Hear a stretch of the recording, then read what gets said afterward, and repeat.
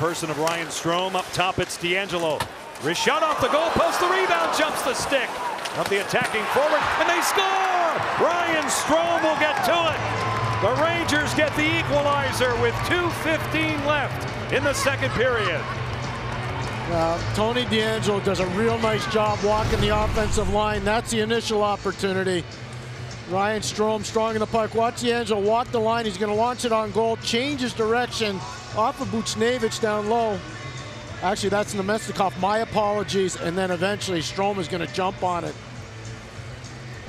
Change direction off the goal, crossbar, keep the play alive, and then Ryan Strome's just going to cash.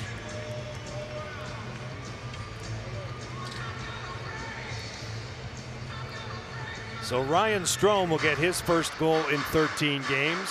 Right place, right time before Casey DeSmith, who got a piece of it.